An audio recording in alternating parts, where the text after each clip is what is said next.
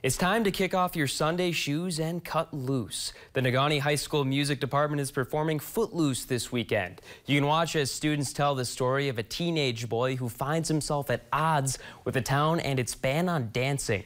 The musical is this Friday and Saturday at 7 in the evening and Saturday and Sunday at 2 in the afternoon.